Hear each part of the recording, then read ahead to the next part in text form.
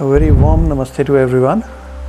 So, today we are going to discuss a very interesting topic how, at the very fundamental level, Ayurvedic science is different from uh, the modern science at the very basic level. So, we have to understand that Ayurveda is a science of adjectives, qualities, or uh, what we call in Sanskrit as gunas.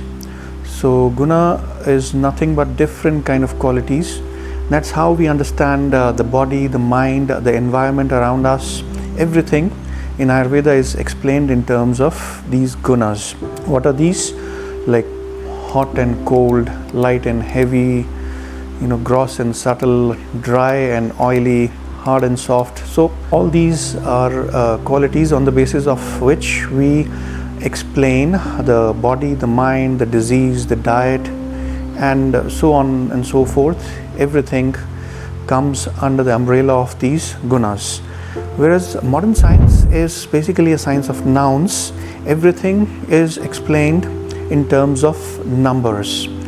Whereas in ayurveda uh, it's very rare or little instances where numbers are used. So what are the examples? Let's say if we talk of diet so the modern science will talk about diet in terms of number of calories or uh, the number of uh, you know the quantity of vitamins in food or, or, the, or the minerals. So that's how uh, the science looks at it. Ayurveda in terms of uh, diet looks at things like whether the uh, whether the food is light or heavy whether it is dry or oiling whether it is nourishing or unnourishing. So there's there's all these adjectives involved. There's no talk of uh, numbers. Similarly if we talk of weight weight gain or weight loss treatments. When the patients come to us uh, for weight loss, we don't uh, really deal into numbers, but uh, we uh, talk in terms of a feeling of lightness in the body, overall holistic lightness, more active, more agility in the body after the treatments.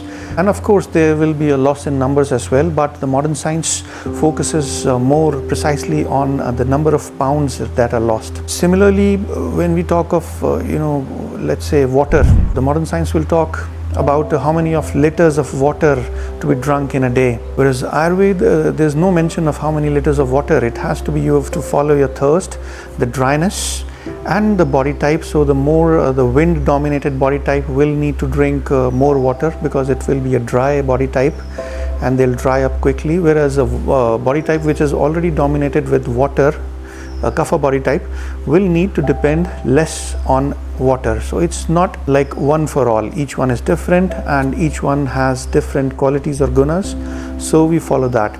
Similarly, the sleep, again, modern science will talk in terms of number of hours of sleep needed whereas Ayurveda again will uh, focus more on the quality of sleep and uh, which body type needs uh, how much sleep. For example, the wind body type will need more uh, hours of sleep because they are uh, they are lighter, they are uh, more more towards the degenerating side, so they need more hours of sleep for regenerating regeneration. So that's how we understand sleep. Similarly, if we talk in terms of exercise, uh, modern science again just like diet will focus on number of calories uh, lost during the exercise the number of hours one should exercise beats per minute is important and then you have to stop so again it deals more in numbers. Ayurveda on the other hand will um, require you to exercise up to half of your strength which is when you begin to pant or mouth breathe or when the whole body is uh, drenched in sweat. These are some of the signs when you uh, stop exercising.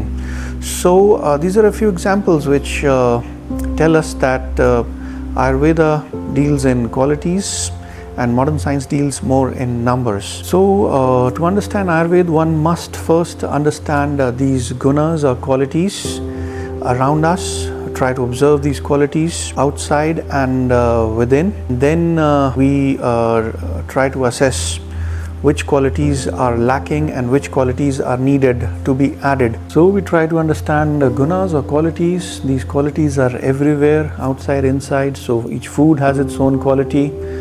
Unlike uh, you know just counting the calories, so you look at the qualities whether a food is heating or cooling, nourishing or unnourishing. You know uh, whether it is oily or drying whether it is light or heavy. If we look at exercise, each exercise is different. Going for just for a nature walk or a hike in the forest will be a cooling activity no matter how many calories you lose but it's considered a cooling activity unlike uh, you know run in the sun will be hot activity. Similarly swimming swimming will be a cooling activity. Also depends on whether it's in uh, cold water or uh, warm water or hot water. So the water will impart uh, a cooling nature to the swimming activity. So uh, really if one is suffering from more from uh, increase of qualities of heat then he will be advised the cooling foods cooling uh, exercises. And if one is more on the colder side then heating activities, heating exercises, heating foods. Even uh, the place or the city or the environment where you live will have uh,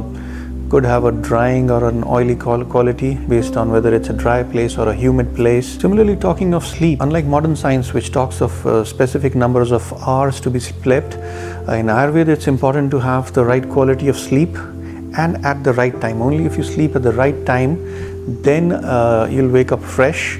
Otherwise, uh, even if you complete the number of hours, you will not wake up fresh. So the first few hours of sleep, which is known as the kapha time, let's say from uh, uh, 6 p.m. to 10 p.m. Uh, if, if someone uh, manages to catch some sleep during these hours, then it will be a kapha, very grounded, very heavy, deep sleep, a deeper quality. A midnight sleep, uh, let's say from uh, 10 p.m. to 2 a.m. will be a pitta sleep, more of a medium quality, medium nature, medium heavy, medium deep.